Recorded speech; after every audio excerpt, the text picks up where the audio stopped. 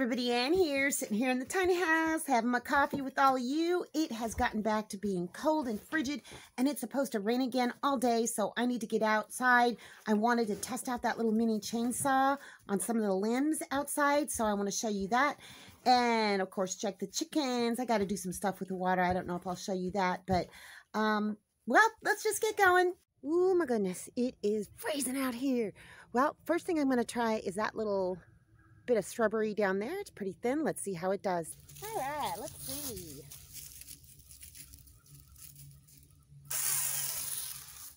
You know what? I should have I should have uh, tightened the chain. I didn't tighten the chain, but I'm gonna see if I'll, I'll still be able to do it. All right, here we go. Let's just do a little one first. Oh my goodness! It goes right through it.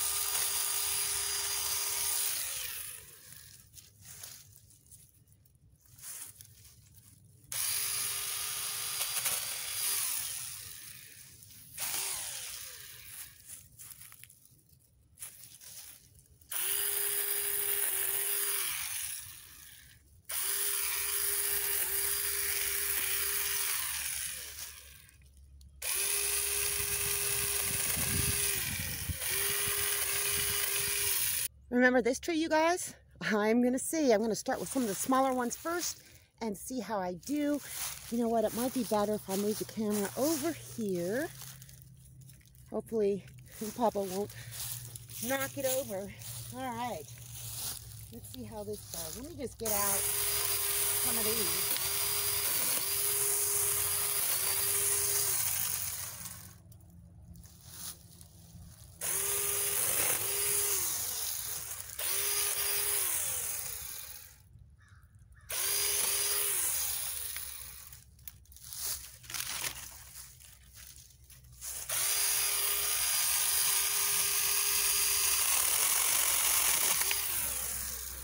Yes.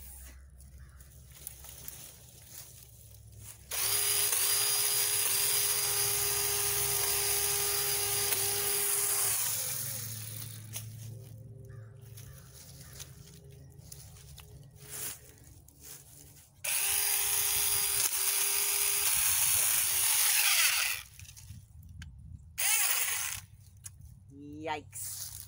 And this is why you tighten your chain beforehand because if you don't, it's going to come off. I mean, it's basically come off the back part here. So I'll just have to undo this and put it back on and then I'm going to tighten it. Had a conversation with my son about it and he said, the thing says when you're holding it like this, you should only be able to see one, two, three teeth. That would be almost like that. My son said if you can slip more than a dime through it, then it's too loose. So I think this is all I'm going to test for today. But you know what? It It's going to be able to get through those bigger ones, no problem. Those there, I'm just going to figure out how to put this back together and use it again another day. Um, I also wanted to show my son, he asked about whether or not there was a reservoir to put oil. And I'm not seeing one. I'm not seeing one. Not at all. Not at all. Am I holding this okay? No. I'm not seeing one. I don't know. Does it go in there? Not sure. Not sure. I know that I tighten it. Where do I tighten it from? There's a little place where there's a little screw that I'd have to tighten Oh well, it's in the instructions. I'll figure it out. But it doesn't look like there is anywhere to add oil. Anyway, I'm just going to take it inside, fix it, uh, recharge it, because I used it actually quite a bit before I did this little test today, and it's starting to run down on batteries. But even so, you could see it went right through that limb, and I am confident it's going to go through these two. You know what else I was thinking of? I did not have the protective gear on me. I need to do that next time because that stuff was flying up at my face. That was stupid. I can't believe I forgot to put that on. So next time I do it, I'm definitely, definitely going to put that on. All right, what next? These two would play all day like this if they could. This little white girl here, Judy, she gets into trouble. And she likes to go up underneath the tiny house and as you can see it is very very damp back there. So I just moved some buckets over here so she couldn't get into it and put some bamboo stakes down there. Um, bamboo is very very useful because I don't want her getting up underneath of that tiny house and getting all muddy and whatnot. And the other side I've just blocked off with some buckets and whatnot. So yep if springtime comes I'm going to remove this because I want my lilies to be able to grow. Look at that. That is the garlic chives that I cut back totally and they are, they keep coming back. Those are the walking onions. More walking onions over here. Oh, and look at these walk, uh, not walking onions, garlic chives. They've totally grown back. Very, very hardy over the winter. So yeah, I need to go cover up those other plants though because the chickens will pick them apart. Yeah, my little walkway that I created with cardboard is not holding up. I'm going to have to get some stepping stones eventually um, because this area is just a muddy, muddy, muddy mess. Oh, and remember this little uh, water filter that I made? Uh, when it rains, I just let it go directly down into there. So when I wake up in the morning, the bucket is usually filled and it's filtered water. Now, I still don't drink this. I'll just put it in the big blue thing on the inside and then filter it through the Berkey for drinking purposes. But at least it makes it clean enough for washing and whatnot. Other than that, you guys, I think I'm just going to move some wood around. I need to bring some wood on the inside. Um, I need to clean my kitchen. That's boring. You don't need to, to watch that. That kitchen is a constant struggle. Um, I need to get rid of a few things that are just laying around in the tiny house, bring them out to the shed. Just kind of get reorganized because if you don't stay organized in a, in a structure this small, it's going to get out of control. It's going to just get too messy and you're not going to like living in your space. So it's best to keep it nice and tidy. Definitely time to clean out the wood burning stove. Got plenty of biochar in here, but likely I will just dump this all either in the compost bin or maybe the hugelkultur garden bed or the chicken bath. You know what? I'm going to put this in the garden bed it's got way too much biochar and I'm not going to harvest any of it right now. So, yeah, let me just get this cleaned out so that I can have a nice fire tonight. That's better. I just put a few big pieces of charcoal in there. Sometimes I put this up here if I'm not burning a fire. If I am burning a fire, of course, I take it off. This is how I've arranged this little area over here. You might think that that basket is too close, but it's not because by the time it gets out to here, it's not that hot at all. And yeah, this is what I've been using for my ash bucket, but looks like I'm going to have to fix something down there. There's a little hole in it. My goodness, I got some duct tape. That's no problem. So, yeah, this is all working out really well. And I put more wood over there. I'm going to get some more wood, stack it up here, put a bunch underneath it there. I need to sweep that out.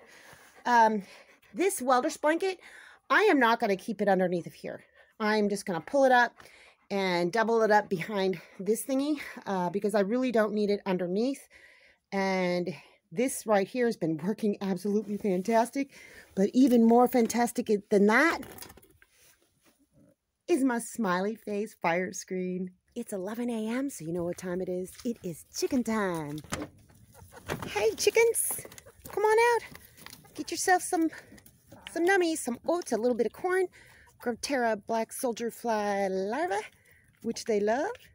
Hopefully Judy won't try and get up underneath the fence and eat my chickens.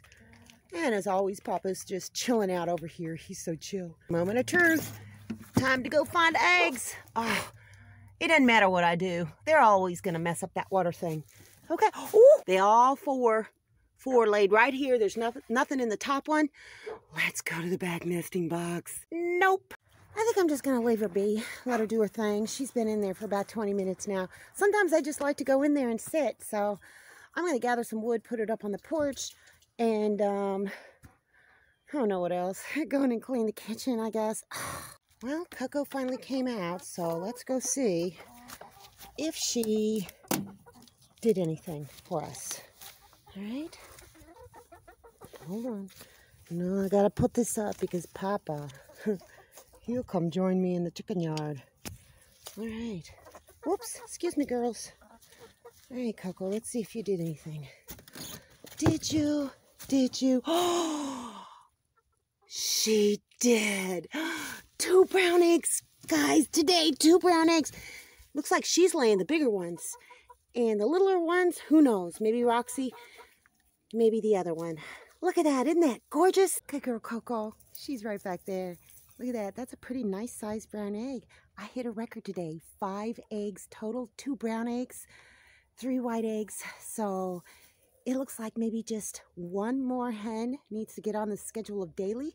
And honestly, I was talking to Mr. Lucas about this the other day. It's the winter time, so it's a wonder. Are you peeing, Papa? No, he's just watching. Um, it's a wonder we're getting any eggs at all. And both of us are at least getting one egg a day. Usually I get three, he gets one or two. So I think we're doing really great. This is restocked. I might go grab a few more logs to put in there. I think I can fit a couple more in. But there's holes all over this, so there's plenty of airflow. I'm going to leave it open today. Got me some more kindling wood and whatnot. Some little, you know, small pieces like this. I honestly don't think I'm going to get any more eggs today. They're all out in the yard. So, yep, chickens, follow me. I'll let you out. Yes, I will. You know what's going to happen next. Come on. You got your freedom. Freedom. There you go. Are they going to go left or right today? I'm trying to get them to not go left all the way to my neighbor's property because they're getting way far over towards the next property and they got a bunch of loose dogs over there that are mean. But it's just their habit. They always go this way over next door. That's why I give them so many eggs.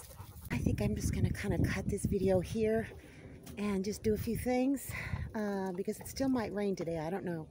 Anyhow, that's all I got for you guys today. See you in the next video.